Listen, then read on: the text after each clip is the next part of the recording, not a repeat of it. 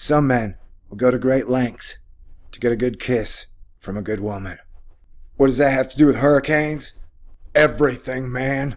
All right. Doesn't matter what I believe. Hit the button, baby. Party dance time. I don't know. Okay, stay cool. This is a Thor News presentation. Thor News presents. Please allow me to use my Hogwarts meteorology degree here with you. Class now in session. Alright, class. The class I'm teaching is the weather is really weird, bro. Ma'am. There ain't no two way to cut it. And if that wasn't weird enough, you got UN people going, we have 500 days to climate chaos. Almost like we were being blackmailed. You know what I'm saying? But then the weird just got weirder.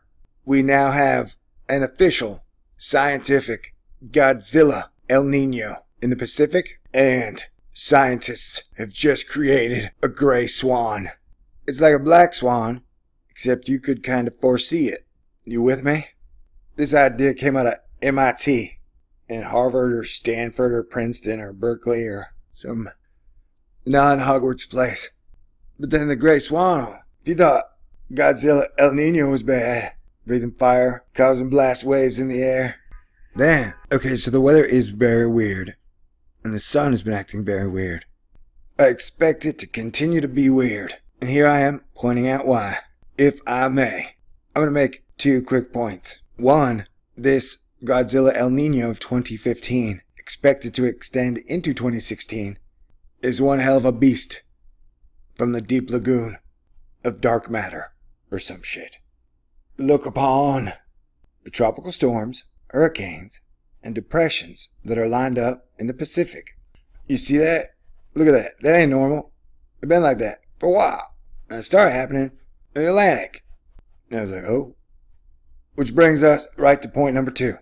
I saw something I never saw before. A hurricane already formed just rolled right off Africa, like with its gym shoes on, running on water.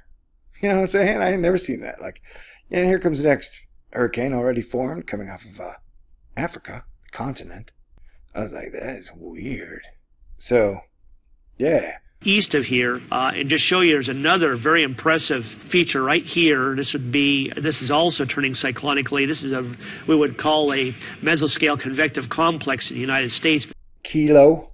Kilo sounds like he's friends with Scarface, so I watch out for this guy. He sounds like he's got a grudge. He's like the longest running hurricane ever. You know, maybe he's just going to meet a lady friend. Man, this is Typhoon Kilo. It was formerly called Hurricane Kilo. I know this is kind of confusing. It's a question I actually get a lot. What's the difference between a hurricane and a typhoon? Nada, nothing. They mean the exact same thing. If you're on this side of the line, you're called a hurricane. If you're on this side of the line, you're called a typhoon. End of story. Okay, now the interesting thing about this storm is that it's been going on for a really long time. It became a tropical depression back on August 20th. That's like 11 days ago. And it could last for several more days as it at least approaches Japan by late next week. Yeah. Some men will go to great lengths to get a good kiss from a good woman. What does that have to do with hurricanes? Everything, man. Come on. So yeah, that's it. That's that for this report. This we got a Godzilla El Nino. That's official. We now got MIT Princeton eggheads going, hey, we just created a gray swan for the weather. Like, well, that's interesting. And then we got this formation in the Pacific. Prayers out to all nations. And then you got a hurricane rolling off in the Atlantic. I highly recommend keep your eye on the weather from now pretty much the rest of your life. Farmers used to do it. Native Americans used to do it. It's a natural thing to keep your eye on Mother Nature. All right, so that's it. That's that. God bless everyone. Talk to you soon. Class dismissed. That is just not normal. Nobody I know would look at that and say, hey, that is totally normal. That happens all the time. You might get some Yahoo joker who is like, yeah, that's what it looks like every time you have a Godzilla El Nino. Well, I would Ultraman kick him in the nuts. Metaphorically, violence is never the answer because hurricanes are violent enough.